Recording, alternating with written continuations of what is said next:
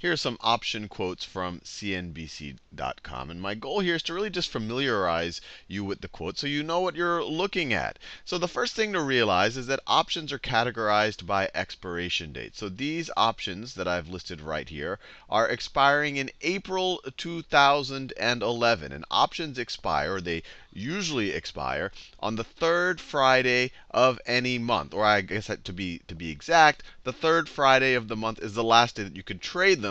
They officially expire the Saturday after that.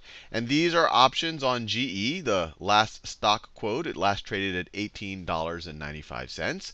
And the way that it's listed on CNBC.com, and it tends to be listed this way pretty much anywhere that you look at option quotes, is that they list the calls on one side and then the puts on the other side. And these are obviously calls and puts on General Electric. And then they write the strike prices down the middle in increasing order.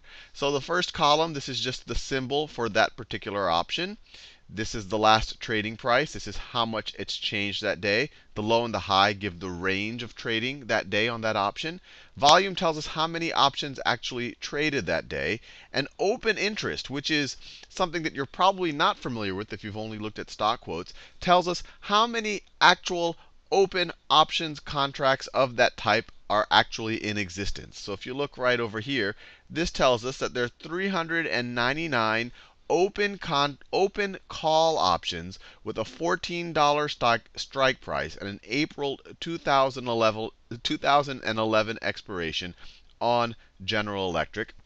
And it tells us that none of those 399 open options actually traded that day. If any of these 399 options get uh, exercised, then it'll go down to 398. If someone writes a new option, then it'll go up to 400. And the way it's listed here is that the in the money options are listed in this light blue color, and then the out of the money options don't get the light blue color. And so you can see the in the money call options are the ones that have the strike price below below today's current strike price.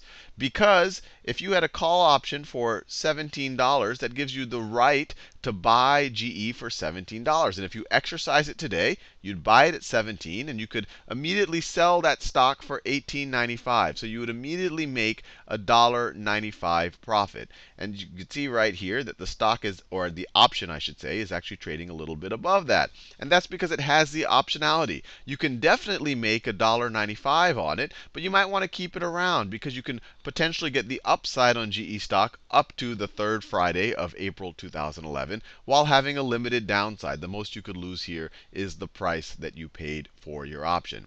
And then you can see the put options that are in the money are the ones that have a strike price above the current trading price. If I had a $20, uh, if I had a put option with a $20 strike or, or $20 exercise price, that means that I could go out into the market today, buy the stock for $18.95, and then immediately sell it for $20. So I would make an immediate $1.05 profit. And you can see here that the option is trading for a little bit more than $1.05 because of the optionality.